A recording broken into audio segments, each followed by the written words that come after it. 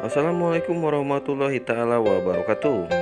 Halo sobat para penggemar sinetron buku harian seorang istri Di mana pun kalian berada kembali lagi di channel HD Official. Episode 3 Desember 2021 Yang pastinya akan tayang di episode selanjutnya.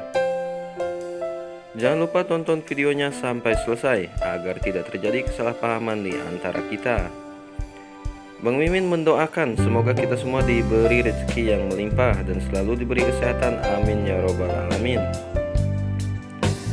Dan untuk kalian yang baru saja menemukan channel ini ada baiknya tekan tombol like, komen, dan subscribe.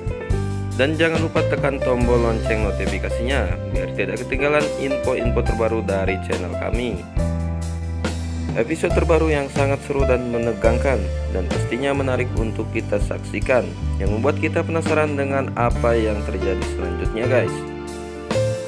Keterpurukan Priska setelah terusir dari rumah keluarga Buwana. Kevin dan Alia pun terkejut setelah mengetahui akan hal ini. Dan di episode selanjutnya Priska yang terusir dari rumah Buwana. Kevin dan Alia terkejut setelah mengetahui akan hal ini. Setelah Dewa dan keluarga Buana berhasil mengetahui kebusukan Priska, yang di mana Priska telah mempunyai rencana dan telah merusak untuk memindahkan klien dari perusahaan Buana ke perusahaan Kevin Arganta, sehingga dengan kebusukan Priska pun Priska tak bisa berkutik dan tak bisa mengelak setelah ada kesaksian klien yang telah dibayar Priska sebelumnya yang ingin menghancurkan meeting kerjasama dengan klien perusahaan luar sehingga membuat Nek Ratu geram. Nek Ratu berhasil mengusir mereka dari rumah keluarga Buana. Nah, kemudian peristiwa yang akhirnya keluar dari keluarga Buana bakal pergi di rumah Kevin dan Alia untuk bisa tinggal di rumah mereka.